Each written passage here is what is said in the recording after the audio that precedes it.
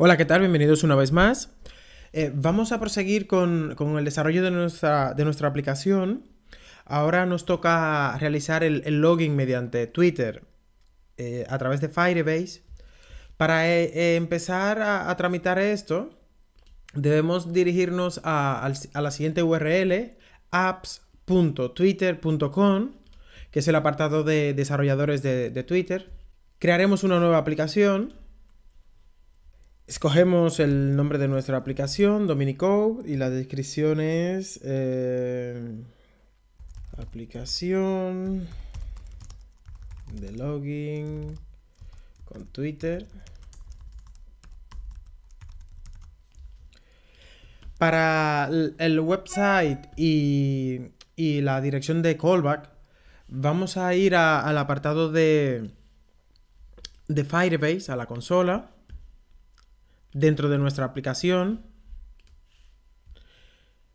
en autentificación, método de inicio de sesión, vamos a ir sobre Twitter, lo validamos y de momento aquí solo queremos copiar esta URL, que es la URL de callback. Volvemos a Twitter y diremos que esta primera parte del dominio será nuestra URL y esta es el, la dirección de callback. Aceptamos las condiciones, clicamos sobre crear la aplicación. Muy bien, la primera parte de nuestra aplicación ya está, ya está creada. Vamos a la pestaña Settings y aquí en, en la dirección, en la política de, la política de privacidad. Vamos a ver si con esto funciona. Vale, muy bien. Eh, por lo demás, si tienes un logo lo puedes, lo puedes añadir aquí. El nombre de la organización, Dominicode. Esto se quedará así. actualizamos. Muy bien. De momento todo está bien. Ahora vamos a la siguiente pestaña. Keys and Access Token. Aquí es donde tendremos eh, nuestra API eh, y nuestra secret key que vamos a copiar. Volvemos al apartado de la consola de Firebase. Recuerda, esto no, no, debes tener mucho cuidado porque si otra persona hace una aplicación para envío de, spam a través de Twitter, te van a bloquear no solo la aplicación sino que tu cuenta. Con lo cual esto no... Yo en breve voy a cambiar esto. Te recomiendo de que, de que tengas cuidado con, esto. Hacemos clic en guardar aquí en, en nuestra consola de Firebase. Y en la, última, en la última pestaña de permisos, si queremos recibir el correo electrónico del usuario, tenemos que marcar esta casilla y actualizar.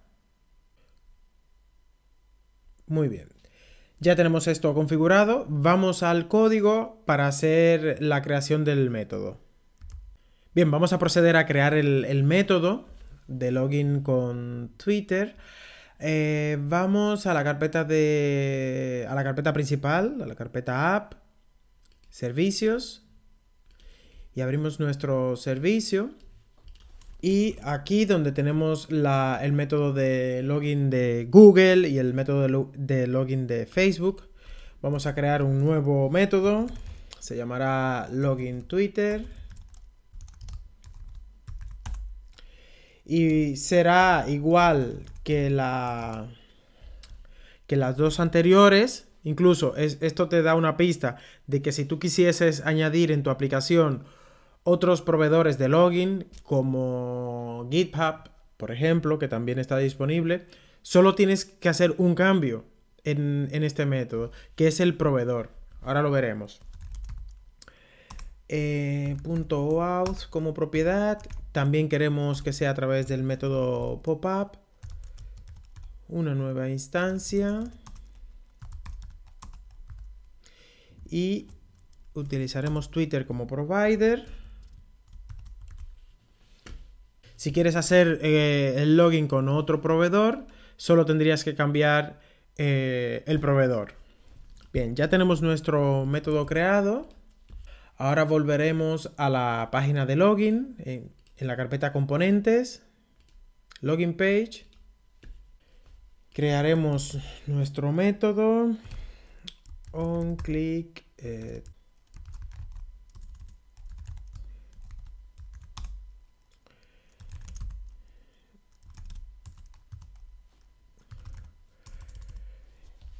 accedemos a nuestro servicio y aquí tenemos acceso a todos los métodos. En este caso queremos acceder al método de login Twitter. Bien, y vamos a, a la promesa.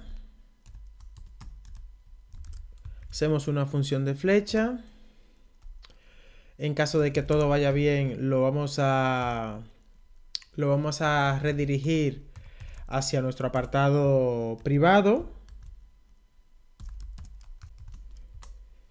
Si algo fallara, lo vamos a, notificar en, en la consola.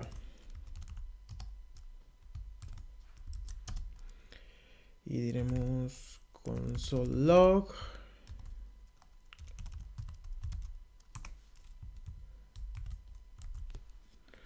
Muy bien. Solo nos resta ahora asociar este, este método al evento click del botón que tenemos en el, en el navbar. Perdón, eh, tenemos que ir a la página de login. Página de login. Y aquí vamos a... Aquí. Le diremos que vamos a trabajar con el evento click que cuando el usuario haga clic en este botón llamaremos al método tweet, eh, click Twitter eh, login. Bien, guardamos. Nos aseguramos de, de que nuestro servidor esté corriendo. Abrimos el frontend aquí. Vamos a abrir el inspector por, si tenemos algún fallo. Hacemos clic en el botón de Twitter. Aquí tenemos nuestro pop-up. La primera vez que, se intenta conectar, eh, tenemos esta ventana de, autorización. Una vez la autorizamos ya no vuelve, no vuelve a solicitar más permisos. ¡Boom! Aquí tenemos el, login con, con Twitter nuestro correo electrónico, nuestro nombre y nuestro, nuestro logo. Bien, ya tenemos finalizado el, login con Twitter. Vamos a, guardar los cambios en el repositorio. Detenemos el servidor. Git status. Eh, aquí lo que hemos hecho es añadir eh, login tweet muy bien. En el próximo vídeo vamos a ver cómo compilar nuestra, nuestra aplicación a través de, la herramienta CLI de Angular y cómo, y cómo hacemos el, el deploy de nuestra aplicación hacia el servidor de Firebase. Hasta la próxima.